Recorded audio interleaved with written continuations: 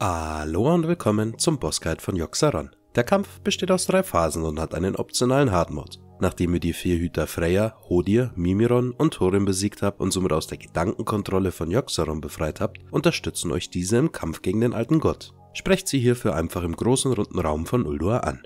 Alle erhöhen euren Schaden um jeweils 10%. Dazu kommen noch individuelle Fähigkeiten.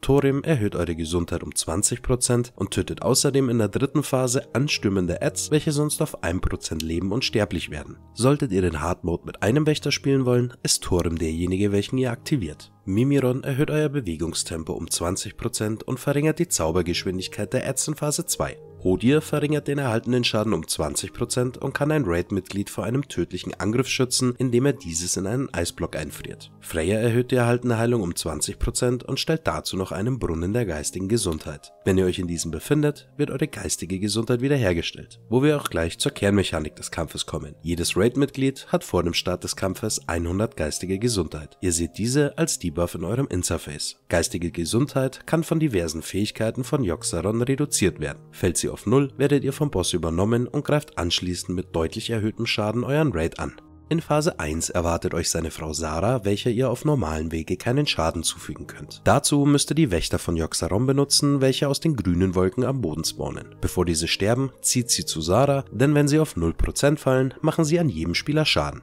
Auch an Sarah. Sie schießen außerdem dunkle Salven auf Spieler, was Schattenschaden verursacht und kurzzeitig die erhaltene Heilung reduziert. Das kann und muss unterbrochen werden. Wenn ihr durch die grünen Wolken lauft, triggert ihr ein weiteres Ad. Haltet demnach Abstand. Nach und nach erscheinen die Wolken immer schneller. Fernkämpfer und Heiler stehen am Rand des Wassers und Nahkämpfer befinden sich direkt bei Sarah. Sarah beschießt den Raid zusätzlich mit Sarahs Eifer. Hierdurch wird euer Schaden um 20% und vor allem der erhaltene Schaden um 100% erhöht. Wenn ihr diesen Effekt habt, solltet ihr nicht neben einem Edge stehen, wenn diese stirbt. Mit Saras Segen werdet ihr sofort um knappe 30.000 Punkte geheilt, erleidet allerdings anschließend für 20 Sekunden einen Dot, welcher euch pro Tick Schattenschaden zufügt. Bei ihrer letzten Fähigkeit Saras Wut erleidet ihr ebenfalls einen Schaden über Zeiteffekt, jedoch wird euer körperlicher Schaden erhöht. Nachdem ihr ungefähr 8 Ads bei Sarah getötet habt, beginnt Phase 2. Sollten noch andere Ads vorhanden sein, zieht diese raus aus der Mitte und tötet sie so schnell wie möglich. Der Raid sammelt sich dabei. Sarah verwandelt sich nun in eine Valkyrie und Yogg-Saron erscheint. Das Ganze dauert allerdings einen kurzen Moment. Yogg-Saron kann noch nicht direkt angegriffen werden, da er ein grünes Schild um sich trägt. Der Raid wird in dieser Phase aufgeteilt. Nun erscheinen sofort drei Arten von Tentakeln, welche es zu kontrollieren und zu töten gilt. Das große Schmettertentakel macht seinen Namen alle Ehre. Geht hier auf keinen Fall in Nahkampfreichweite, andernfalls seid ihr tot. Schickt auch als Jäger oder Hexer keine Begleiter drauf. Diese werden ebenfalls getötet und machen dadurch an anderen nahen Spielern Flächenschaden, da der Schlag des Tentakels mehrere Ziele trifft. Des Weiteren reduziert es dank Kraftschwächen den verursachten Schaden aller Spieler, welche sich in der Nähe befinden. Die Fähigkeit kann nur durch Nahkampfschaden unterbrochen werden. Das gleiche gilt für fokussierte Wut, welches seine Angriffsgeschwindigkeit und Schaden pro Stack erhöht. Der Trick ist hierbei einen Paladin abzustellen, welcher mit einer Entfernung von ca. 10 Meter mit einem Richturteil trifft, da dieses als Nahkampfangriff zählt.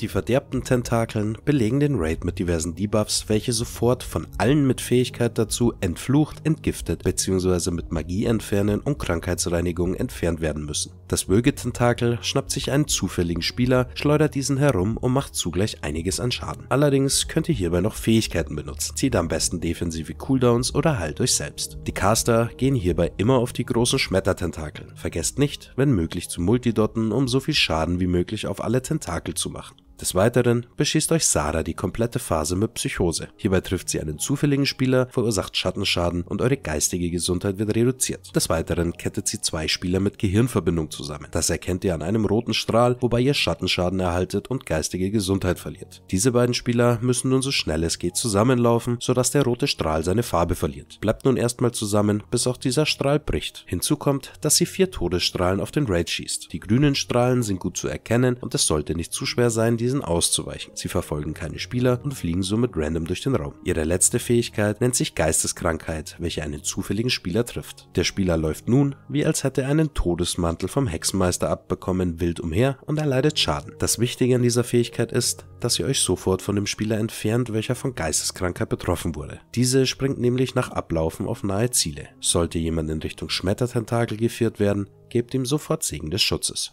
Um an Yoxaron nun Schaden zu verursachen, teilt sich der Raid, wie vorher kurz erwähnt, in zwei Gruppen auf. Einmal die Gruppe, welche im Raum bleibt und gegen die Tentakel kämpft, und einmal eine Gruppe, welche sich zu Yoxarons Gehirn teleportiert. Teilt für die Gehirngruppe 10 Spieler ein, welche sich priorisiert aus Nahkämpfern und einem Heiler zusammensetzt. Nach einer Minute in Phase 2 erscheinen 10 Portale.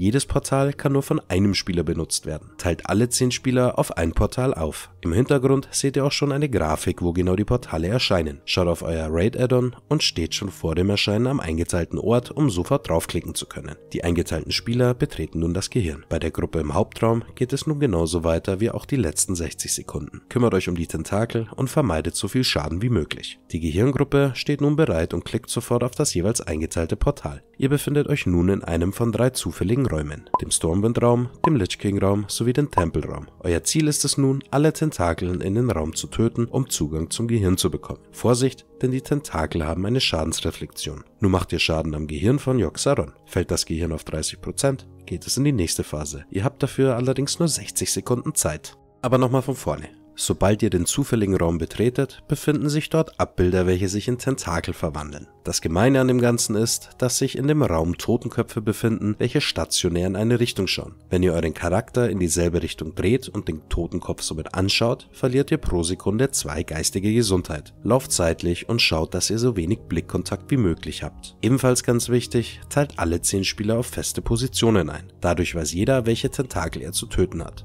Im Hintergrund seht ihr schon die drei Bilder, welche wir euch natürlich auch in der Beschreibung verlinken. Teilt jeden Spieler auf eine feste Position ein, so weiß er direkt, um welche Ads er sich in welchem Raum kümmern muss. Einteilung und Wissen, was einen erwartet, ist hier wirklich das A und O.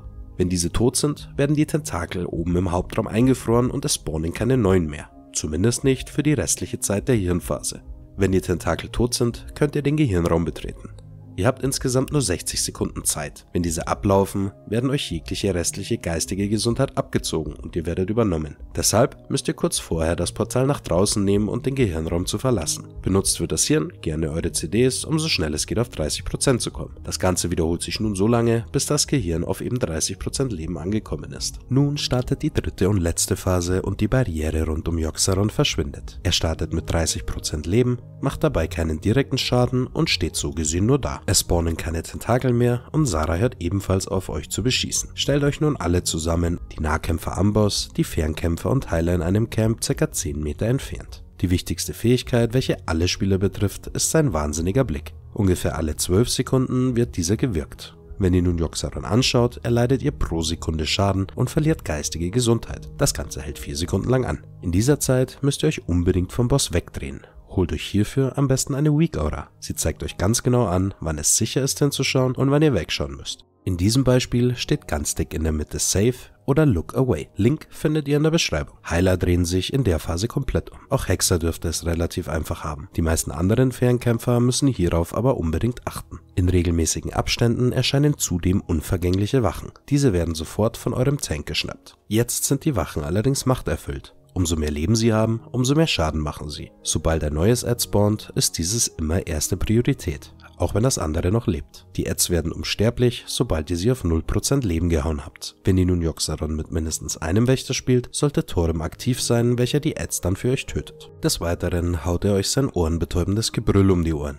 Hierdurch erleidet der komplette Raid Schaden und wird für 4 Sekunden zum Schweigen gebracht. Der Silence kann allerdings von einem Paladin mit Aura der Konzentration umgangen werden. Mit seinem Schattenleuchtfeuer bzw. machtvolle Schatten heilt er außerdem die Ads. Das spielt allerdings nur eine Rolle, wenn ihr Yoxaron ohne Wächter spielt. Wenn ihr diese Dinge beachtet, ist Phase 3 im Vergleich zur zweiten Phase relativ einfach, vorausgesetzt ihr habt mindestens Thorim aktiv. Solltet ihr Yoxaron ohne Wächter spielen, verändert das Phase 3 komplett. Ab sofort werden keine Wächter mehr getötet und zugleich in regelmäßigen Abständen vom Boss mit Schattenleuchtfeuer anvisiert und anschließend mit machtvolle Schatten geheilt. Wenn das passiert und alle Ads auf einem Haufen beim Tank stehen, ist dieser definitiv tot, da sie in der Summe mit vollem Leben so viel Schaden verursachen, dass das nicht mehr gegengeheilt werden kann. Deshalb werden immer drei Wächter, welche mit Schattenleuchtfeuer anvisiert werden, auf fest eingeteilte Positionen aus dem Raid gezogen. Da eure Tanks allerdings beschäftigt sind, machen das Jäger mit ablenkender Schuss. Diese Fähigkeit ist genau dafür gemacht, da sie automatisch nach ca. 8 Sekunden wieder die Agro verlieren und das Ad mit voller Gesundheit zurück zum Tank rennt. Hierbei müssen eure Tanks unbedingt kleine Cooldowns Downs ziehen. Da ihr vermutlich keine drei Jäger habt, benötigt ihr andere Klassen, die spotten und die Ads aus dem Raid ziehen können, wie zum Beispiel Feral Druiden, Krieger oder Todesritter. Hier wird das Ganze deutlich komplizierter und benötigt im besten Fall Raketenstiefel und andere Fähigkeiten, um die Geschwindigkeit zu erhöhen. Das Problem ist, dass ihr nicht automatisch die Agro verliert, sondern wieder zurück zu eurem Tank rennen müsst. In der nächsten Runde passiert dasselbe allerdings mit 5 Ads. Nun braucht ihr 5 eingeteilte Spieler, die spotten und kiten können.